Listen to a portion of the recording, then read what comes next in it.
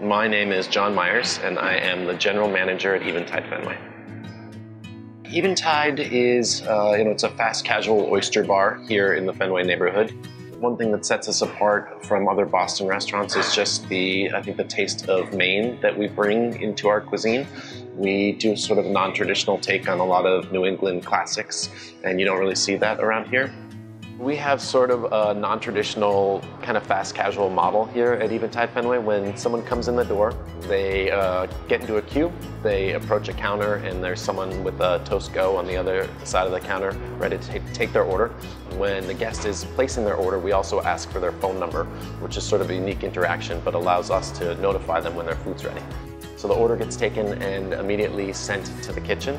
It goes to a KDS screen for the expediter, and then also there's one on the hotline for the people that are working uh, the hotline preparing all the hot food. And so at that moment, the order, you know, is, starts being prepared. People working the line know just how many burger patties, how many chicken patties, how many fish fillets they have going on at any moment and the expediter sees that too. And so it, you know, it takes a whole level out of the nonverbal communication aspect. They can look up, visually see on the screen what they need to be doing. And as they complete each order, they put it up in the window for the expediter. They notify the guest via text message. They tap a button on the KDS and the guest gets a message. They come up to the counter, they pick up their order and it's ready to go. Continued service at Eventide means that uh, you come in and you order at the counter you're going to come pick up your food and then go have a seat. But after that, we didn't want the interaction with the restaurant to be totally finished.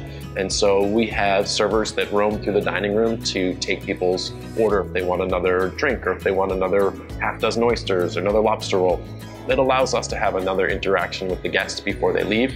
Um, it allows us to, you know, um, sell a few more food items before they head out the door, and it keeps them from having to go up and get in line again if they want anything else to eat. Toast helps us bring the continued service model to life, especially with the use of handhelds. It's really easy for a server to get out to the dining room. They can take someone's order tableside, they can process the credit card transaction right there. The guest can sign right on the screen of the handheld and they can get a receipt emailed or texted if they want. It really makes it more efficient. It's a pretty exciting way to do things. It's been fun, it's been really interesting for guests. Our staff loves using Toast Go. It is, I think, a lot easier than pen and paper.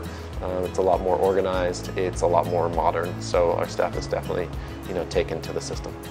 You can really tell that they were designed, you know, to be used in a restaurant. Um, they're really ergonomic. They fit in the, you know, your pocket. They fit in your apron. Um, they're really handy to use. In the past, uh, with the previous uh, POS system we had, which was iPad and iPod based, we definitely had issues with, you know, cracked screens and, uh, you know, charger ports getting messed up. I think that Toast Go is going to be a more rugged and durable solution for the long term versus something that was, you know, an iPad or iPod that, you know, no matter what case you put on it, you could still drop it and crack the screen pretty easily. So uh, we always ran into that issue in the past and looking forward to not having that anymore.